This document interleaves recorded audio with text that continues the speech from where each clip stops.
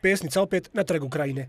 Aktivisti Udruženja građana Put pravde dobili su dozvolu odjeljenja za komunalne poslove grada Banja Luka da 18. i 19. jula postave štand na centralnom trgu u cilju promocije svojih aktivnosti.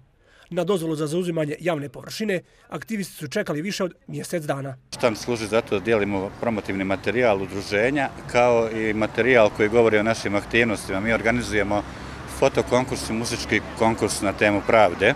Međutim, simboli koji podsjećaju na pravdu za Davida i ovog puta su zasmetali pojedinim građanima.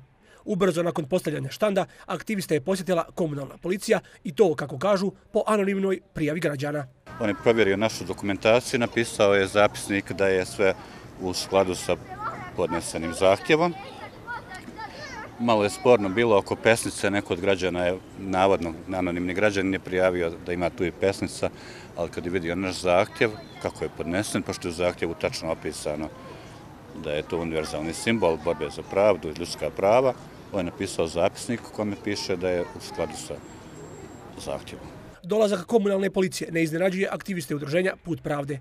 Podsjećaju da su pod stalim policijskim pritiskom više od dvije godine od kada traže rasvetljavanje ubistva Davida Dragičevića. Kad se tiče nas, mi uvijek očekujemo probleme, pošto znate da smo uvijek pod pritiskom policije i organa vlasti, međutim, ovaj, nadamo se, evo, ovaj gradonačelnik Igor Radojičić je izgubio jednu bitku sa pravdom za Davida i nadamo se da se neće upustiti u nastavak svog ličnog i političkog blamiranja, jer nije moguće valjda da se toliko plaše jedne šake ljudi koja traži pravdu, jednog simbola. Iz udruženja poručuju da će nastaviti sa svojim aktivnostima na isti način kao i do sada, mirno i dostojanstveno i u skladu sa zakonom. Pozivaju građane da posjete štand i da se upoznaju sa svim na čemu aktivisti vrijedno rade. Udruženje građana Put pravde Banja Luka osnovano je od strane dijela aktivista neformalne grupe građana Pravda za Davida.